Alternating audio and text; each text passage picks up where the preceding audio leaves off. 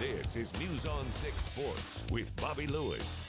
Home sweet home on the Napa Sports Desk tonight. The Sooners are back at the Lloyd Noble Center tonight, a place they have lost just once all season long. On Saturday, they looked invincible there, beating 18th ranked Kansas State by nine points. OU shoots for two wins in a row at 7 o'clock against Texas Tech. Chuck Fisher has a preview from Norman. The Sooner Studio.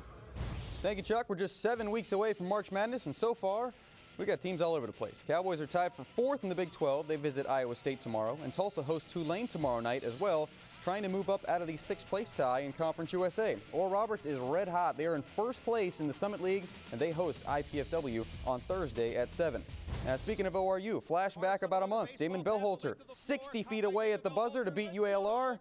Yeah, that goes in, of course. It wouldn't be nominated for the Play of the Year if it didn't. Geico Play of the Year, fans can decide if it wins the award. You can vote on Damen's buzzer beater. We have a link for you on our sports page at newson6.com.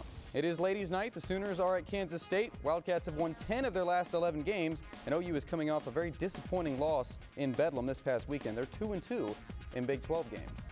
Funeral services for former Oklahoma State football coach Jim Stanley have been set for 1 o'clock this Thursday at Sunnybrook Christian Church in Stillwater. Stanley died last week after a two-year battle with cancer. You can get more details about his service at our sports page at newson6.com.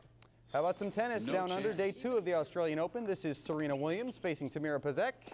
Williams smashing the overhead winner at the net. She advanced easily. How about Andy Roddick, the American, against Robin Haase? Roddick with a powerful strike right there at the net to win the second set. He goes on to win his match 6-3, 6-4, and 6-1.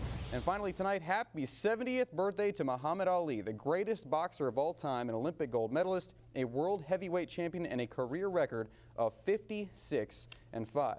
OU spring football game will be April 14th in Norman.